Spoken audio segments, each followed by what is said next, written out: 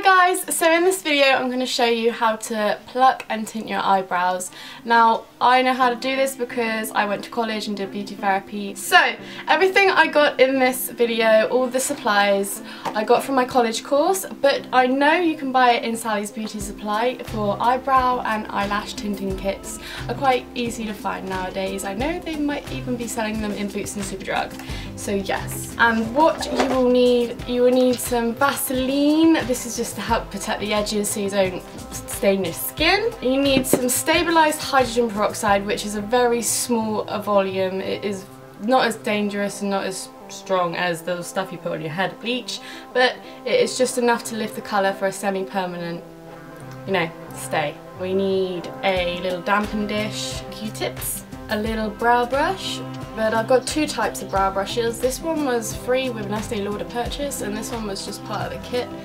Um, the, you need the eyelash and eyebrow tint itself. Now this is kind of like a henna dye, but it's not. You mix it with the hydrogen peroxide.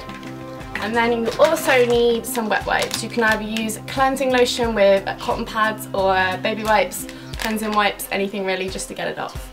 So the first thing I'm going to do is I'm going to pluck my eyebrows. Now I'm using these tweezers, the pointier the tweezers the better, I find you get more precision with these. Now I'm only doing this video because I get a lot of questions about how to do my eyebrows and I thought it would just be easier to just record it for you guys. So yes, that's what I'm doing. Right, so there's a mirror in front of me. Let's do this, let's do this. I don't know how it's going to turn out, but we'll do it! Okie dokie. Now, what you want to do is you want to keep the skin taut. Now this helps prevent any swelling, any redness, and it also helps to reduce the pain. And you want to work underneath the brow. So anything between the corner of your nose going straight up from there, and then the corner of your nose going diagonally this way, and there you go, you've got your guideline.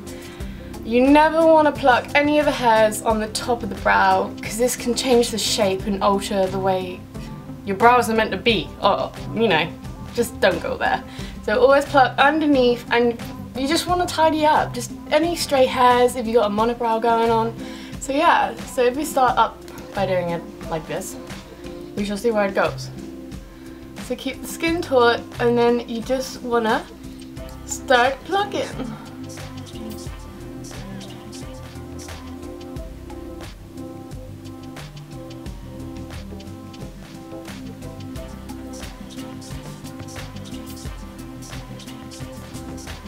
Now if this is your first time doing this or if you're not used to doing your eyebrows, I would suggest doing a little bit of each eyebrow at a time rather than just going whole hog doing one eyebrow and then moving on to the other because sometimes it can make it uneven and then you don't know where you are and you can lose your place. But um, if you know the shape of your eyebrows then you can, you know, do it how you want to do it. But this time I'm just kind of doing it as I feel. And moving on to the upper eyebrow, I'm just tidying up all the little stray hairs in the monobrow. Unfortunately, I am one of those people that is blessed with uneven eyebrows.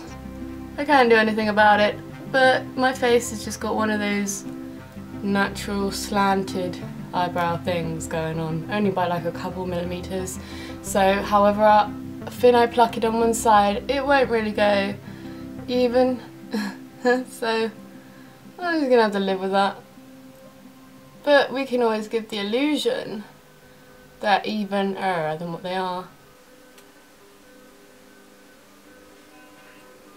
Right, so now all the little stray hairs on my eyebrows are all gone, I'm going to move on to making the barrier so the tinting cream doesn't stain my skin. So you want to get your Vaseline and you want to just get a little bit and go around the edges.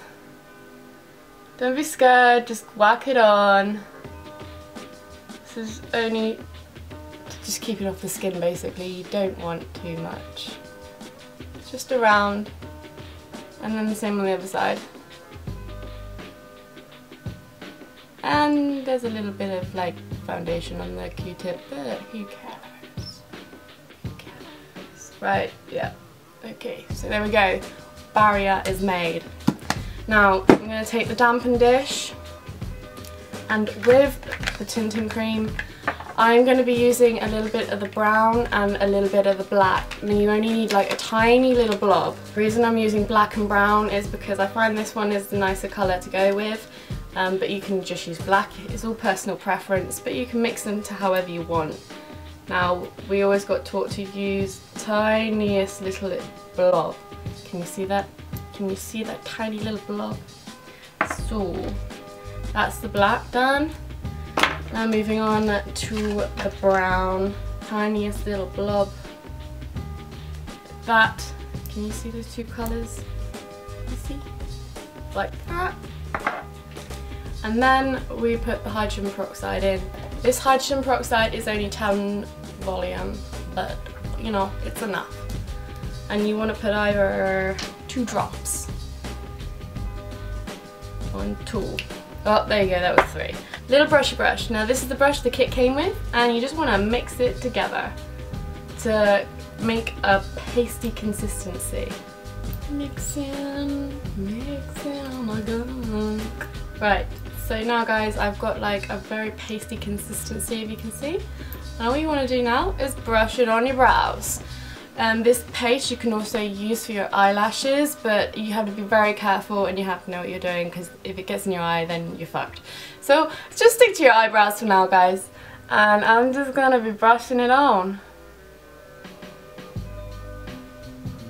I like to go with the natural shape of my eyebrows, uh, who doesn't? So if you don't want your brows to look very natural, then hey ho. But um, I'm going for a darker shade because I'm really sick of drawing them on all the bloody time. Don't worry, it's not going to go this dark if you think, what the fuck is she doing? no, it's not going to go this dark. It'd be nice though. The darker it is, the longer it will last for. Um, but I've found from personal experience from tinting my brows that it can last up to about three weeks until you need to do it again. But it all depends on how much you wash your hair on your face and how you know how it falls out and sheds and all that. But it fades, everything fades. Clean up with a q-tip for just a sec. And uh, if you can see that, that is shaped. And then moving on to the other side.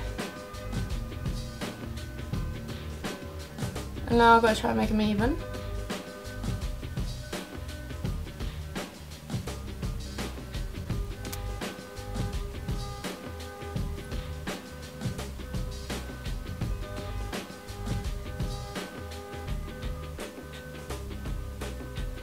Right, so I look like I've got very dark eyebrows now. So um, you want to leave this on for 5 to 10 minutes, all depends on how dark you want them. If you don't want them going really dark, I would preferably check on them now and again in case they end up black or you got some dodgy like eyebrow tint and shit. But yeah, um, I'll get back to you in 5 minutes and we'll take it off and we'll see what we're left with. Right, so 5 minutes has passed and I'm going to take this off. Doodle -doo -doo -doo. Now grabbing my cleansing wipe. You're just gonna wipe it away and see what you're left with. That one. And this one. Ugh.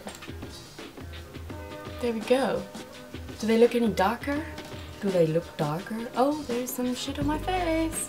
Shit my face. Right, now I'm gonna grab the brow brush brushing through. Do I like the shape? Yeah, the shape's alright. And this side. And there we go. How to tint and pluck your eyebrows. Does it look cool? I wouldn't know. Okay guys, so I hope you found this video interesting and helpful. So this is how I pluck and tint my eyebrows. This is what they look like. Do -do -do don't forget to like, subscribe and comment and I will see you all soon. Bye guys.